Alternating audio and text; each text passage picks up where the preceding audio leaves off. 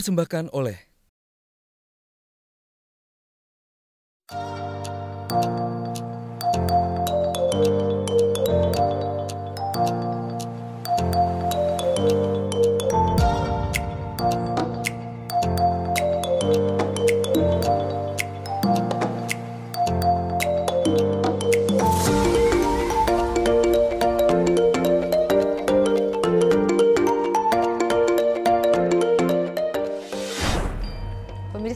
Indonesia, saat ini saya sedang berada di tengah-tengah Puro Mangkunegaran Solo. Dan saya ditemani oleh Gusti Ros dan juga Gusti Pondra yang akan ngobrol-ngobrol seputar tentang Puro Mangkunegaran Solo ini. Apa kabar Gusti Ros? Baik. Gusti Pondra, senang Terima sekali loh ini kasih. pertama kali saya dan tim Indonesia ada di sini. Dan ini bangunannya betul-betul sangat unik sekali ya. Saya betul-betul merasa seperti eh, tentunya di istana dan em, membayangkan dulu ratus-ratus tahun dulu di sini ini ada sebuah kehidupan yang sangat luar biasa. Ini keputren. Keputren ya. Dulu ibu saya di sini, anak-anak semua, anak-anak perempuan, sepupu-sepupu saya Khusus untuk, untuk menemani wanita ya? saya. Khusus wanita Nah, ya. Ayah di sebelah sana. Iya, iya, Ya. iya, iya. Tapi kalau sekarang juga nggak ada yang mau kalau bisa. Lalu kalau melihat bangunan ini, bangunan ini sendiri tuh dari tahun berapa kira-kira? Gusti Ros? 1920-an. Ini, ini yang baru. Ya. Oke, tapi tentunya sudah mengalami beberapa kali perbaikan, Ah, paling di, renovasi. dicat, paling ditutup pakai kaca karena sekarang semua kan nggak bisa hidup tanpa AC. Iya, iya, iya. Beda sama dulu ya. Iya. Kalau dulu terbuka Dulu, terbuka ya. Iya, kan nggak panas kalau dulu ya. Iya, iya, iya. Lalu ini juga kalau melihat arsiteknya nih Gusti Pondra, mungkin ini dipengaruhi juga oleh eh, beberapa pengaruh seperti mungkin ada dari Eropa juga ya tentunya. Iya, pada dasarnya Budi yang Ibu, Iya. kalau di sini itu sentuhannya Eropa, Sentuhan Eropa. Eropa, tapi tetap dengan pakem-pakem Jawa. Tetap gitu. makam-makam Iya. Jawa ya. Nah, lalu berkaitan dengan Hari Batik Nasional. Dulu itu apakah memang ada pembatik khusus eh, Iya, Puro iya, Mangkunegara? Iya, iya, iya. Yang Sam- khusus tahun membatik itu? punya bapak ibu. Eh, setelah eh, yang membatik meninggal ya sudah selesai. Sudah selesai ya? eh, Ditanyain dong, koleksi batiknya Nah, itu Iya. koleksi batik pasti masih menyimpan koleksi eh, batik dari Masih. zaman dulu mungkin Ma- masih. nenek moyang masih. Kalau nenek moyang enggak udah sudah masuk museum Oh, ya. iya. Kalau yang ke- apa yang sekarang itu koleksinya yang dipakai ibu saya. Seperti yang dipakai ini masih ada. masih yang- ada. iya. Lalu ada motif-motif apakah yang dari koleksi ibunda yang masih disimpan oleh Gusti Ros? Eh, kebanyakan ya sogan, yang Sogan. warna sogan itu memang warna Khas, Jawa, ya, khas Jawa. Jawa. Ya. Nah, biasanya kan ibu saya juga koleksinya kebanyakan lereng, macam-macam lereng. Macam-macam lereng. Ya. Lalu apakah ada memang batik koleksi bunda yang sekarang dikeluarkan lagi pada saat sedang ada perayaan atau upacara khusus? Biasanya batik yang motif apa itu? ya? Tergantung acaranya. Kalau eh, koleksinya ibu saya sekarang sudah ada saudara yang waktu itu dikasih izin ibu untuk me- merepro terus. Retro, iya, iya, iya. Jadi dilestarikan Ya, ya Gusti Pondra ya, iya, jadi supaya masih bisa dinikmati Ya, oleh, oleh orang generasi banyak, ya. sekarang seperti oleh kita kita ini. Jadi Ya, kita masih bisa ya, lihat tahu ya, ya. Oke, ya. oke. Ya, sangat sangat eh, menarik sekali ya. Memang di Solo ini em, sangat kuat sekali budayanya.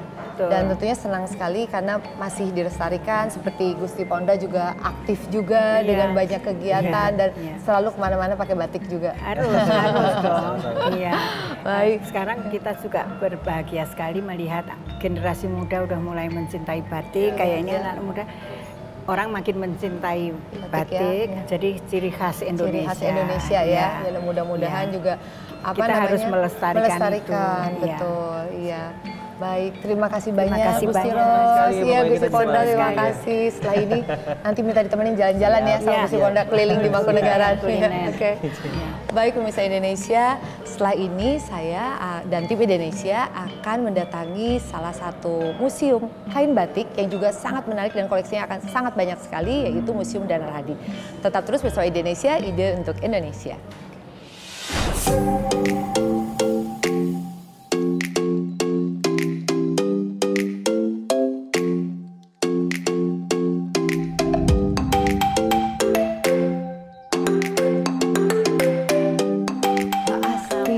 Senang jumpa dengan Mbak. Senang sekali Iya, akhirnya saya sama-sama. bisa ada di Museum Danar Iya, Hadi ini. Iya.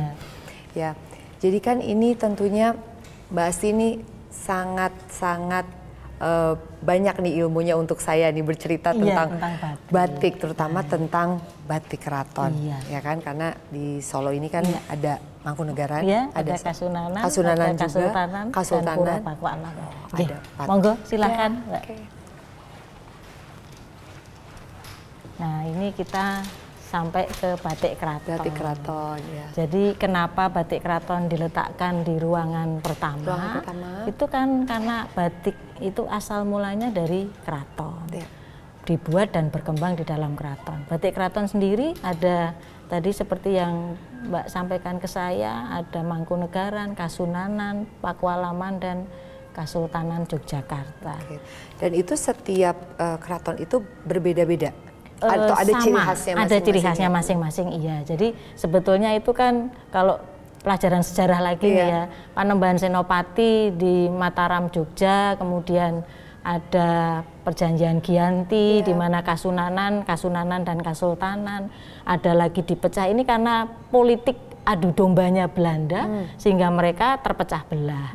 Nah, masing-masing memang mempunyai ciri khas. Iya. Misalnya kalau yang di Solo itu batik keratonnya coklatnya lebih keren. Kalau yang di Jogja itu putih, Hmm. eh, baik di Kasultanan maupun Puro Pakualaman. Hmm. Tapi semuanya mempunyai arti filosofi. Karena batik yang dibuat di keraton itu kan dibuat dulu-dulunya dibuat dengan melakukan meditasi, Ada berdoa, dulu ya, Bu, ada ya? ritualnya. Iya, betul. Jadi ada kandungan doa dan harapan Doa dan tentang harapan. sesuatu hal. Betul. Lalu dari kalau dari keraton yang lain lagi nih, yang ceritanya yang yang juga menarik itu ada dari keraton mana lagi? Ada dari Puro Mangkunegaran. Iya. Itu ada pola yang namanya tambal pamiluto. Hmm. Pamilut itu maksudnya terpilut terpikat. Jadi yang memakai itu dia berharap orang yang memandangnya bisa terpilut atau terpikat. Memang banyak sekali ya ilmu atau cerita-cerita tentang batik ini Betul, yang Mbak. memang kalau Iya. semakin dikorek semakin banyak lagi Iya, didapatkan dan bikin penasaran. dan bikin Iya. penasaran iya nah yang juga menarik eh, batik di Indonesia juga tidak pernah lepas dari eh, nama batik Danar Hadi itu juga merupakan sebuah perjalanan batik di Indonesia Betul, iya. dari saya kecil Iya. itu saya kalau dibawa eh, jalan-jalan beli batik batiknya itu pasti Danar Hadi Oh, terima kasih, iya. iya. Dan jadi ingin tahu cerita tentang sejarah Baik, batik Danar baik. Hadi itu Ya, bagaimana Mari kita Asti? ke sana.